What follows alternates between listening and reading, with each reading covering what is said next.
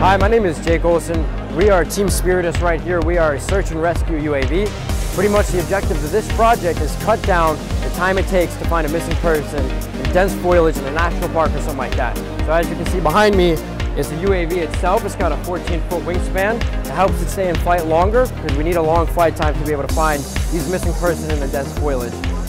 One of the main objectives for our project is that we need thermal imaging to be able to find these, these people on the ground. So what that does is that you'll have somebody in the ground control station, much like the one you see behind us, uh, looking at the screen, trying to find the heat signatures of a person.